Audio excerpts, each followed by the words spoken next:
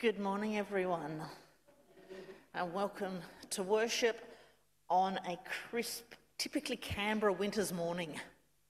Uh, it makes a change from yesterday's weather. So, welcome to worship. Uh, notices today are on the pew sheet. Um, the St Margaret's News is coming out next week. Sorry, with Linda away, we haven't quite got everything happening as it should, and it's in process. So please keep an eye out for that next week. Um, Maggie's Cafe yesterday went off to a really good start. Um, busy constantly from about 12 o'clock through till 3. Uh, and we served something around 40 tea, coffee, hot chocolates. Uh, the cake was very much appreciated. Chocolate cake was demolished very quickly, uh, and everything, lots of other things as well. So it was great great time. Um, and I'll have the sign up sheet at coffee this morning if anyone else would, is able to sign up to help with uh, the cafe over coming weeks. Um, this week, I'll leave you to have a look at the things that are on the pew sheet, but I will draw attention to soup lunch being next Sunday. Uh, and the instructions are to contact Margaret Hunt if you would like to help with that. Um, so this morning, just to begin, we acknowledge that the lands that we meet on today is the traditional lands of the Ngunnawal and Ngambri people, uh, who have taken care of this land for so many thousands of years. Um, their stewardship has meant that we can enjoy the, um, the land as well now. So we're very thankful for them in their custodianship and we um, pay respects to their elders um, and we um, continue to walk with them on the path of reconciliation. Sorry, tickle in the throat. Um, our call to worship this morning uh, is responsive, so I ask you to, to join in. Right, we come to worship in the name of Christ. We gather to hear a word of truth and life. Seeking wisdom and the will of God. Let us be one in mind and spirit. That all the world may know that God is love. And let us pray. Holy God, whose wisdom shapes the universe with awesome wonder, Fill us with your spirit of power and peace. May we hear the word of the truth of your word. May we discern the call on our lives. May we know again that we are your beloved children. Receive our worship, we pray. Amen. Our first song this morning is one to um, warm us up and get us involved as we praise our God. Praise my soul, the King of heaven. Please stand if you're able.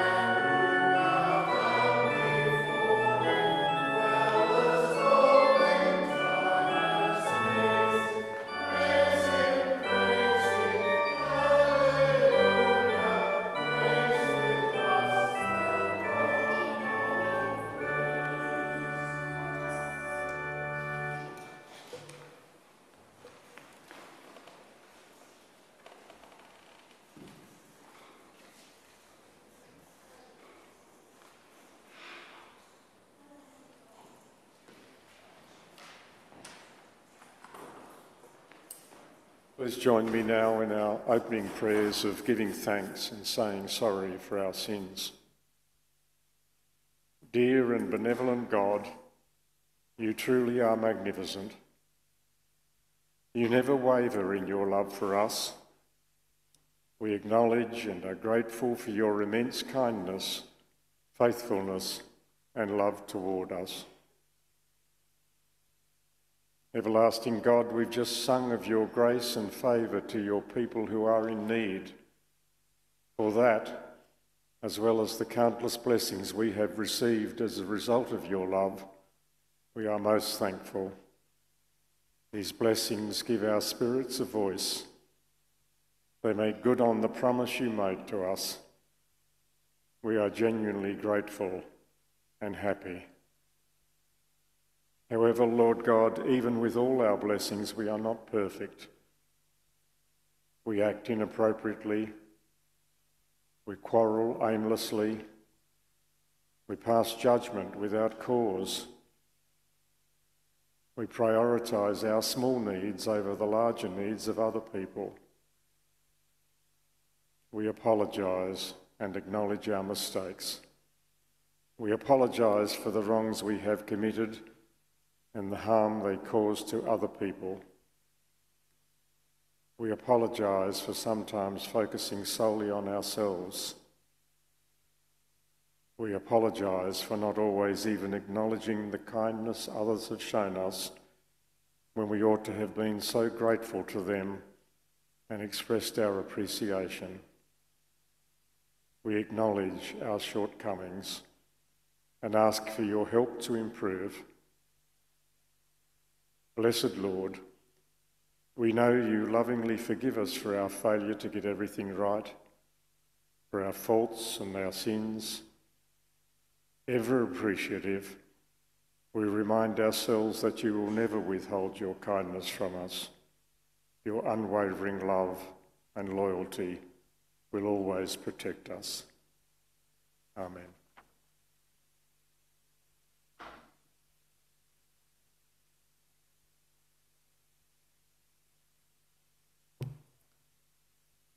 And we'll join together for our next song, which is our offering song.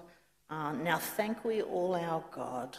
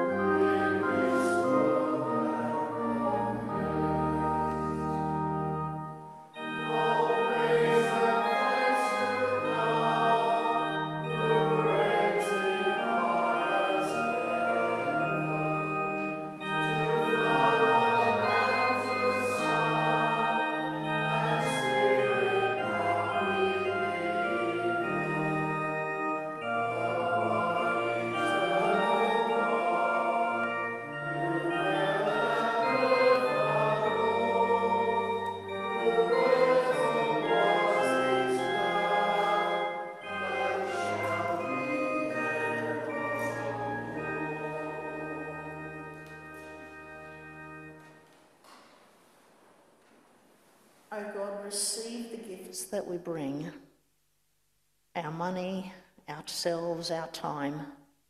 Let them be used to ease the burdens of others. May they be a sign of our love for you and for each other. Amen.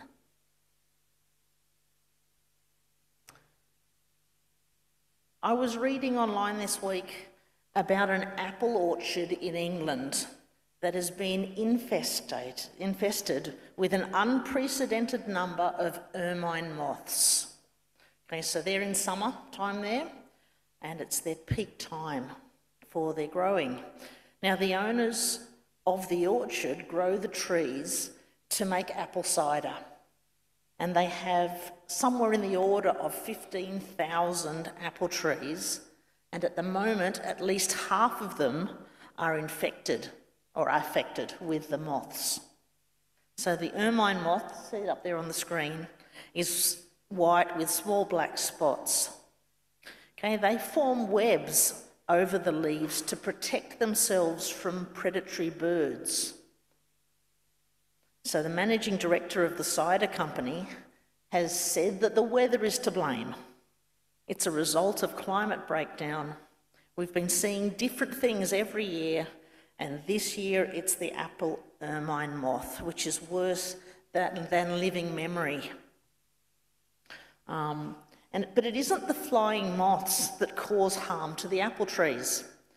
In spring, the trees are encased with thick cobwebs with eggs and larvae, which, uses, which causes the trees stress. The larvae then grows into caterpillars, who in summer eat the leaves, defoliating the trees. And while they can be treated with pesticides, that's something that this particular orchard is against. Uh, at the moment, they're praying for really, really cold, freezing weather to break the cycle.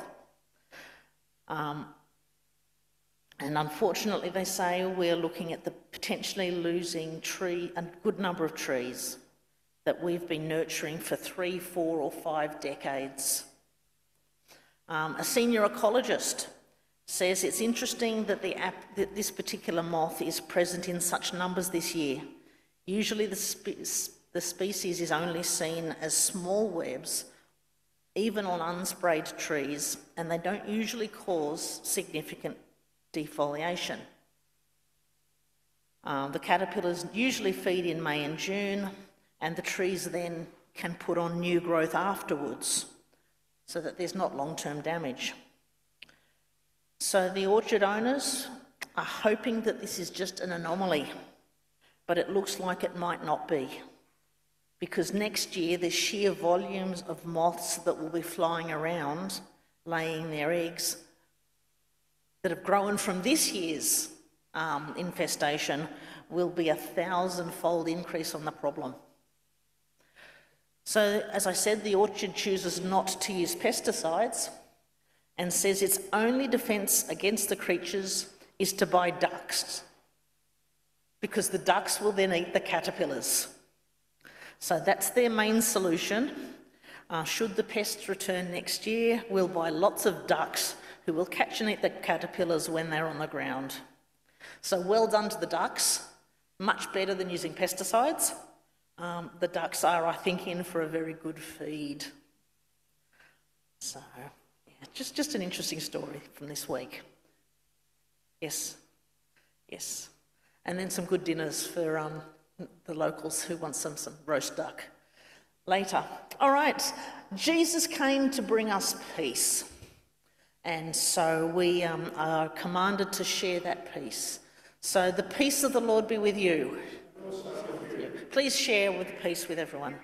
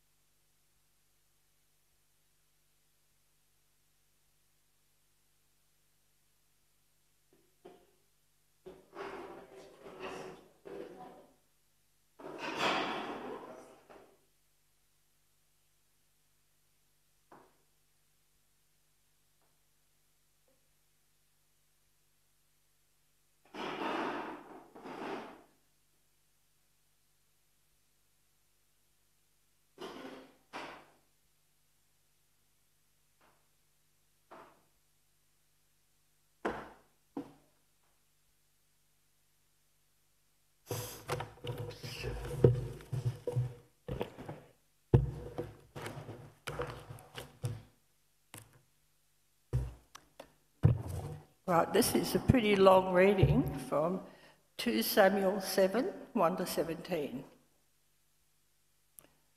Now, when the king was settled in his house, and the Lord had given him rest from all his enemies around him, the king said to the prophet Nathan, See now, I'm living in a house of cedar, but the ark of God stays in a tent. Nathan said to the king, Go, do all that you have in mind, for the Lord is with you. But that same night, the word of the Lord came to Nathan Go and tell my servant David, Thus says the Lord, Are you the one to build me a house to live in? I have not lived in a house since the day I brought up the people of Israel from Egypt on this day. But I have been moving about in a tent and a tabernacle. Wherever I have moved about among all of the people of Israel, did I ever speak a word with any of the tribal leaders of Israel, whom I commanded to shepherd my people, Israel, saying, Why have you not built me a house of cedar? Now, therefore, thus you shall say to my servant David, Thus says the Lord of hosts I took you from the pasture, from following the sheep, to be prince over my people Israel. And I have been with you wherever you went. I've cut off all your enemies from before you, and I will make for you a great name, like the name of the great ones of the earth. And I will appoint a place for my people Israel, and will plant them, so that they may live in their own place and be disturbed no more and evildoers shall afflict them no more, as formerly, from the time that I appointed judges over my people Israel. And I will give you rest from all your enemies. Moreover, the Lord declares to you that the Lord will make your house. When your days are fulfilled and you lie down with your ancestors, I will raise up your offspring after you, who shall come forth from your body, and I will establish his kingdom. He shall build a house for my name, and I will establish the throne of his kingdom forever. I will be a father to him, and she, he shall be a son to me. When he commits iniquity, I will punish him with a rod, such as mortals use, with blows inflicted by human beings. But I will not take my steadfast love from him, as I took it from Saul, whom I put away from before you. Your house and your kingdom shall be made sure forever before me. Your throne shall be established forever. In accordance with all of these words and with all this vision, Nathan spoke to David. Now we have a reading from Mark, Mark 6:30 to 34 and then 53 to 56. The apostles gathered around Jesus and told him all that they'd done and taught. And he said to them, Come away to a deserted place all by yourselves and rest a while. For many were coming and going, and they had no leisure even to eat. So they went away in the boat to a deserted place by themselves. Now many saw them going and recognised them, and they hurried there on foot from all the towns and arrived ahead of them as he went ashore, he saw a great crowd and he had compassion for them because they were like sheep without a shepherd. And he began to teach them many things. When they had crossed over, they came to a land at Gennesaret and moored the boat. When they got out of the boat, people at once recognised him and rushed about that whole region and began to bring the sick on mats to wherever they heard he was. And wherever he went, into villages or cities or farms. They laid the sick in the marketplaces and begged him that they might touch even the fringe of his cloak. And all who touched it were healed. Hear the word of the Lord.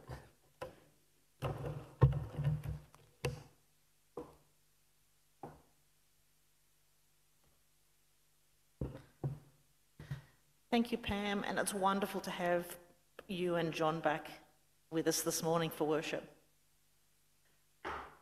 Let us pray. Dear Lord and Father, as we come to consider your word for us today. Open our ears to hear and our hearts to listen. Come, Holy Spirit. Amen. Right, a worship series about worship. It feels a little bit strange, but I think it's important for us from time to time to be reminded about what it means for us to gather for worship each week. Some of us might never have really been taught about the flow structure and purpose of worship, while others may have known at one time but have been sidetracked by the routineness of everything that we do. So don't get me wrong, um, there's something beautiful about routine, about knowing the liturgy, the structure, and the, the hymns so well that they feel as close to us as our own heartbeat. But routine and familiarity can be a double edged sword. Comfort and routine needs at times to be accompanied by awareness. So, over three Sundays, we're going to spend some time together journeying through the order of worship that we are so accustomed to. We will look, be looking for insight uh, into how some of our regular practices help us to live lives that are shaped and bound by our calling to reconciliation with the Almighty God. It is, sorry, it is as we find ourselves seeking after God's heart that we truly learn to worship and to live. So today we're considering the purpose of gathering and the call to worship in our services. In the second instalment, in a few weeks' time, we will be thinking about prayers of confession and prayers of the people. And then we will finish a few weeks after that by looking at the practices of blessing and sending out. So that's the plan. We'll see how it works out. So, thankfully, according to our lectionary, we have some quite fascinating companions to accompany us on this journey. Uh, we have two kings, King David and King Solomon. Um, they are very big in the Old Testament. Their influence, fame, and infinite infamy are felt throughout the biblical text and even to the, through, to the church today. And yet, their worship has a way of bringing them closer down to size, like the rest of us mortals. There's something dynamic about King David, something compelling, and yet also disturbing about the life he led and some of the choices he made. You can't help but wonder why David was considered to be a man after God's own heart, as we read in 1 Samuel. Clearly, it wasn't because David was perfect or that he did things the right way all the time. We only need to consider the episode with Bathsheba and Uriah to see some of the terrible things that David was capable of and that he actually did. So, how then do we understand such a description of David? And how does Solomon carry on his legacy? So, that's our aim over the next few, few sermons. So there are many attributes and inclinations that might help us understand what it, might, what it means to be a person after God's own heart. So I invite you to consider that for David, worship was life. Worship wasn't something David did, it wasn't a specific time of the day or week. Rather, worship was who he was. David lived and breathed worship. Yes, sometimes, even regularly, he got it wrong. At times, he followed impulses that led him astray. Sometimes he got confused about who was the object of his worship, and he got in the way of the God he loved. But through it all, as the Psalms show us time and time again, David did live as though his life was an offering to God. So let us begin. In the Bible, in Hebrews 10, we are told not to neglect gathering together. But why? Why is this important? So, the concept of gathering together is not just a religious one. Indeed, our acknowledgement of country at the start of every service with its, is a celebration of gathering, gathering on the traditional lands of our First Nations people. And we know, and as we know, sorry, the acknowledgement of country is done whenever people gather in Parliament, in community, schools, sporting events. Gathering is important. As humans, who are by nature relational and social, we do like to gather together. What's better than getting together with friends and family at a barbecue or celebrating a significant birthday? Gatherings give us common experiences and connections to each other. Looking at 2 Samuel chapter 6, this is the verse before the reading that Pam gave us, we hear about David bringing the Ark of the Covenant to Jerusalem. So the reading is set about 3,000 years ago, and we hear of King David gathering the Israelites together for worship. The plan was to go to Baal Judah to bring the Ark of God back to David's city. So David does things in big ways. He summons 30,000 people to the task and the procession, which was included much rejoicing. So it says in chapter 6 they brought the ark of the Lord and set it in its place inside the tent that David had pitched for it. And David offered burnt offerings and offerings of well being before the Lord. When David had finished offering the burnt offerings and the offering of well being, he blessed the people in the name of the Lord of hosts and distributed food among all the people, the whole multitude of Israel, both men and women to each a cake of bread, a portion of meat, and a cake of raisins. And then all the people were sent back to their homes. Now, there have been concerns raised about how David led this procession before the ark. The text says he was dressed as a priest in a linen ephod and was wildly dancing and shouting before the ark. Now, we're so distant from that culture and context that we really don't understand the intent or nature of the celebrations and whether David's dancing and um, sorry um, and the, the, the, the noise of the procession was good or inappropriate. We, we can't understand that. But it is worth noting that once the ark was in its new home, King David gathered the people in traditional offerings burnt offering and the offering of well being before the Lord. These were rites to seek forgiveness of sins and to celebrate and fulfill a vow. All important parts of worship. But the gathering also included a blessing and a meal together bread, meat, and raisin cakes before the people were sent home.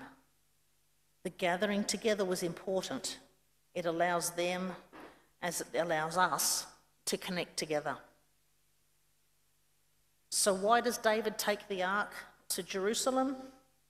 Maybe it was to honour God, to bring God home to the place where they were known and worshipped. David loved the Lord and was known for writing songs expressing that love, many of which are favourites of ours today. So, of course, David wanted God nearby, or at least the earthly manifestation of God's abiding presence among his people. But some argue that David had more personal or egocentric motives behind the decision. that in this newly conquered city, David was not, sorry, not yet called the city of David.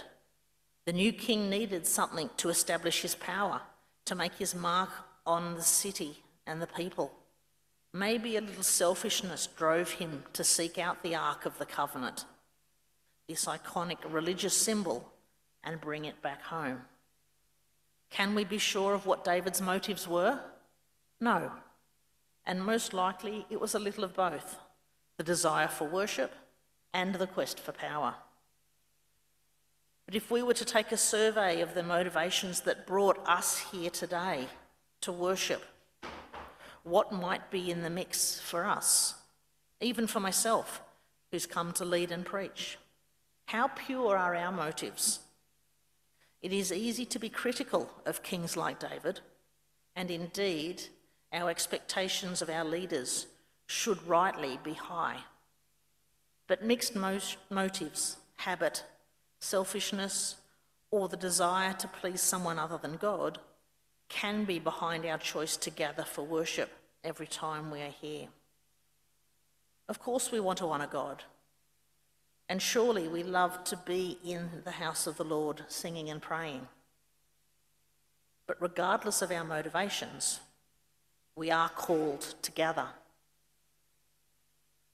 As an aside, in our COVID world, our perspective on gathering has changed a bit. Each week, as we gather in person on Sunday mornings, we also welcome into our midst those who join us remotely. It is wonderful that current technology means that people can join in with us, even when they are not physically here. It is such a wonderful blessing to have them, to have, to have you joining us. But I do wonder about the responsibility this places on us as a congregation. Zoom does allow our community who are away, who are unwell, have transport difficulties, to join us, to connect with us. However, building and maintaining important relationships is an essential element of gathering together. And this is best done through face to face interactions and sharing. But I'm not criticising those who are online. What I have is a challenge that as a church community, that we go out of our way, outside of our Sunday morning gatherings, to meet with and connect with those who join us through Zoom. Personal contact is a vital and is vital and important for our healthy community. So that's a challenge for us. But however we gather, we bring with us our own motivations, our own baggage and load, and from the rest, sorry, and things from the rest of our lives. Our preferences and choices, our fears and our joys. And if our gathering on Sunday mornings is to be for worship as well as fellowship, then we need something that sets the scene and brings us intentionally ready to meet God. And the call to worship does this for us. So now looking at this morning's reading from Samuel, 2 Samuel chapter 7. Uh, we hear of David sitting on the parapet of his new palace. The king looks over his balcony and sees the city and his people. He sees the city spread out before him, looking for him for guidance, looking for him to be their king. It gives him strength, and it possibly terrifies him at the same time. How could he possibly live out all the needs to be king of these people. At the other end of his balcony, he looks into the gloom of the corner of the palace court and he sees what looks a bit like a homeless encampment a large canvas tent, a flickering flame with tributes and prayers written on all manner of material and left scattered around like an explosion of faithfulness and hope. But as cluttered as the tent of meeting appears, David knew that it was the true source of his strength. It was his physical connection with the God who had made him king. And thinking about the nature of the house of God, a tent, compared to his very comfortable palace, David decided he wanted to do something about it.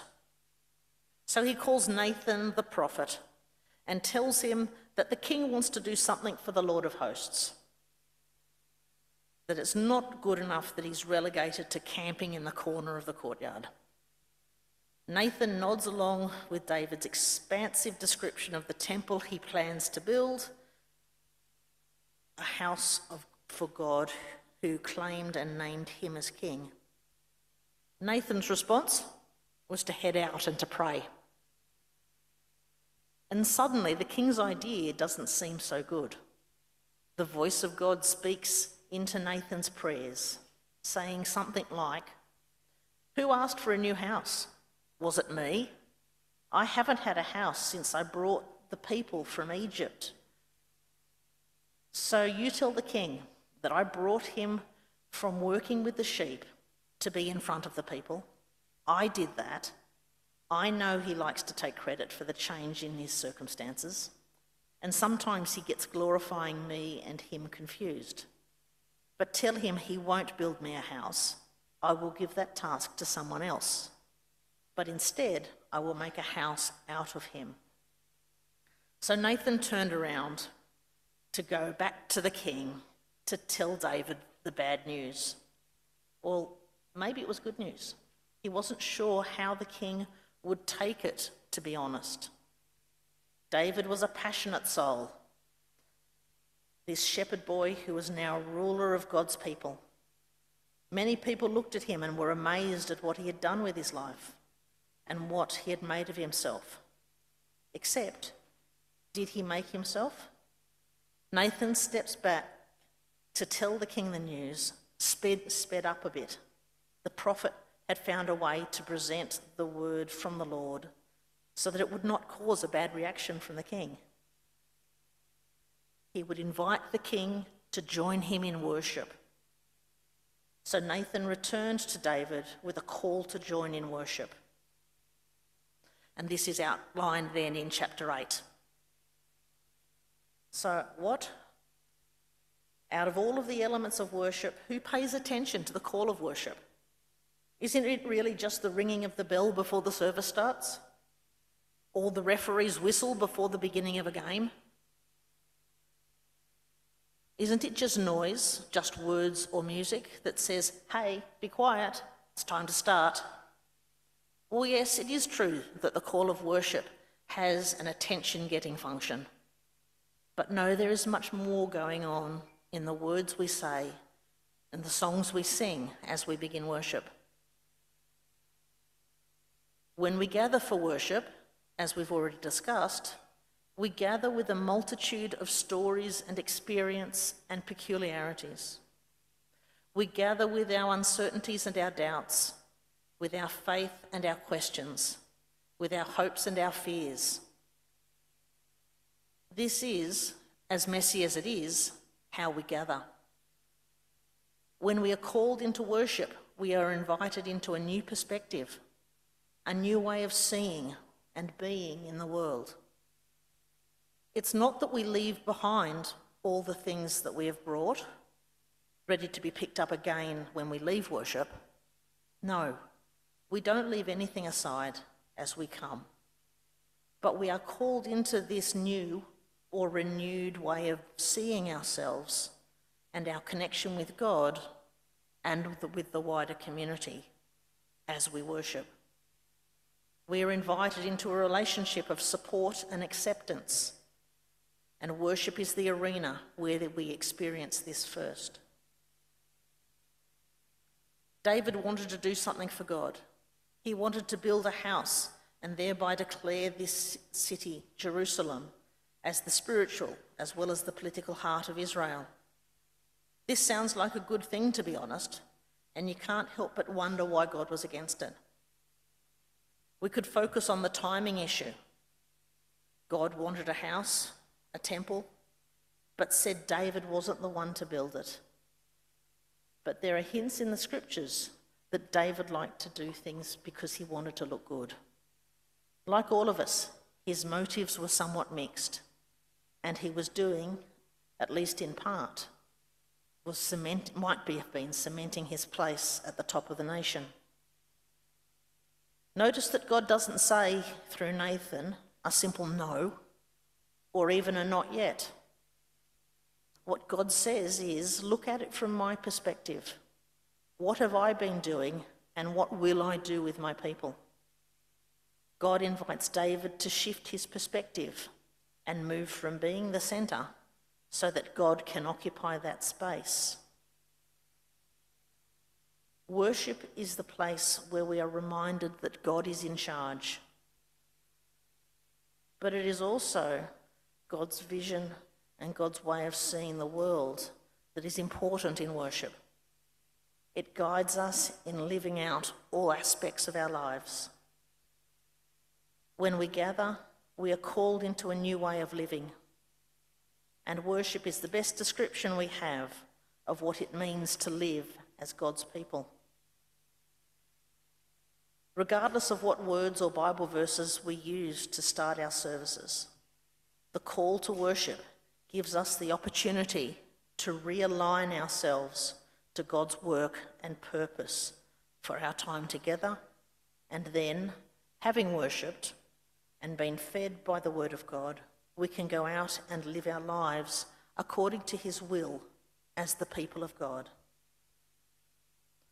So each week, may we remember to gather together, not just for a social get together and a time of fellowship, which are important, but let us come together to be reminded by the call of worship that God is the primary reason for our gathering. The Almighty God is the one to whom we must give praise, who we need to listen to and learn from. He is our Father, and we are invited each moment into an amazing face to face relationship with Him as His beloved children. Amen.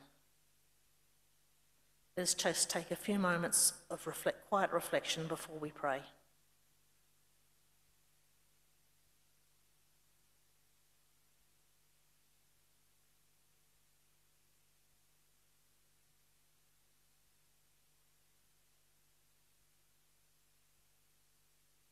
Almighty God, it is so easy for us to get caught up in our own worries and concerns that we, like David, take our eyes off you.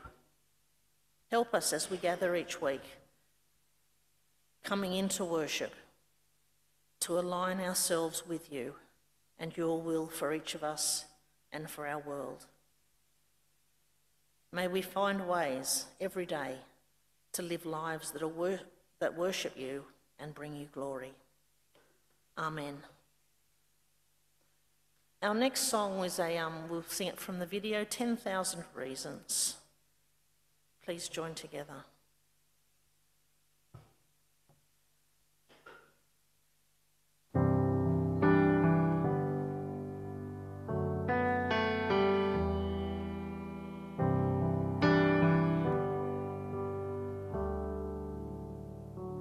Bless the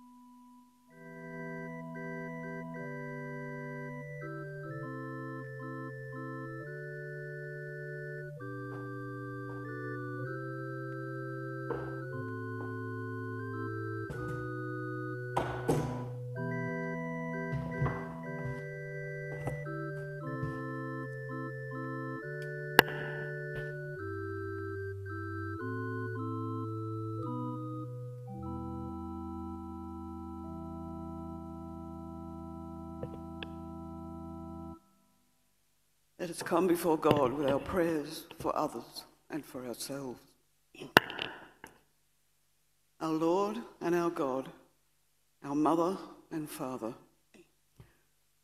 we praise you and thank you for your love and goodness to us, for the beautiful land in which we live, for our freedom and comfort, for our loved ones, partners, children, grandchildren, and great grandchildren.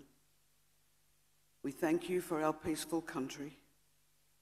We pray for our country's leaders that their actions will never lead us to conflict and war in our land. We pray for those suffering in the world because of leaders of countries who are selfish and uncaring for those who live in their country. We pray for peace for peace in Ukraine at war with Russia, for Israel at war with a terrorist organization called Hamas in the Gaza Strip, and for other parts of the world where there is conflict and suffering. We pray that much needed aid will reach those suffering in these war torn lands and that the leaders will become aware that no, no one benefits from war and that only suffering and death result from continued aggressive action. We pray for the United States of America for resolution of conflict and disharmony in connection with the country's forthcoming election. In the World Council of Churches Ecumenical Prayer Cycle, we pray for the countries of Burundi, the Democratic Republic of Congo, and Rwanda. We are thankful for the abundant natural resources in the Democratic Republic of Congo and the mountainous beauty of, the, of Rwanda. We pray for those who have worked for healing and reconciliation in Rwanda, especially after the genocide, and for the tireless efforts of churches and community organisations working with the support of humanitarian organisations to improve the living conditions of the people. We pray for an end to poverty and hunger and improve access to health services, especially for the young, that they might have hope for their future, and an end to rebel movements across borders and the political instability this, that this stirs up. We pray for just economic development that goes on, sorry, that does not exploit creation and people, and for democratic election of less corrupt governments that work for the sake of all. In our own community, we pray for Holy Cross Anglican Congregation and thank you for the cooperative nature of our two congregations. And we pray for the Reverend Tim Watson and all the members of his congregation that they will work towards working together to achieve peace and harmony with love for all. We pray for the success of Maggie's Cafe, a new initiative we've commenced to reach out to those working for or connected with Meg's Toy Box, Holy Cross's Tucker Box, and all others in the community with whom we, we seek to connect and begin a sustaining relationship with into the future. We thank you for Julie Connor and her pastoral role with us throughout this year and maybe into next. We will help and support her as she combines her teaching role with her role as pastor. We thank you for Julie's many skills which she brings to us, which she brings to her role as pastor with us. Give her peace and comfort in all that she does. And we pray for Alan, Julie's husband, in his busy role as headmaster of a large school in South Australia. Keep Alan safe as he drives home to South Australia now. Grant Julie and Alan happy times when they can take a break from their respective roles and spend some time together. We pray for the Bishop family. We thank you for the long, happy, and productive life of Marjorie and pray that she will be with you now. We pray for Jeff and his large family of children grandchildren, and great grandchildren. We thank you that we could join in the wonderful memorial service held here on Friday for the many people who love Marge and joined here to give thanks for her and to ask for your blessings on the family.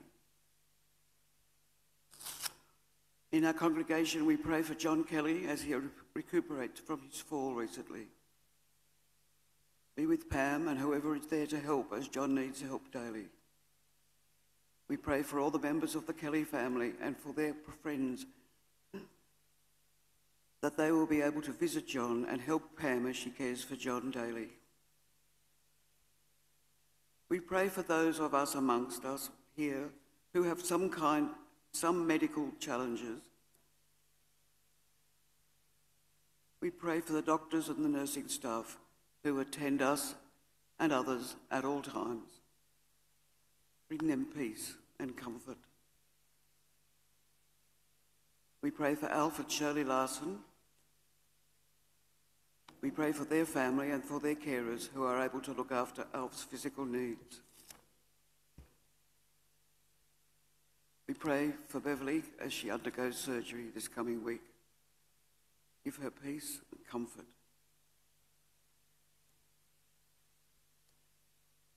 Hear these our prayers, dear Lord, and lead us into this coming week with love in our hearts for all with whom we come into contact and with whom we share our lives.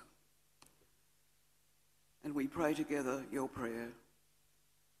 Our Father in heaven, hallowed be your name. Your kingdom come.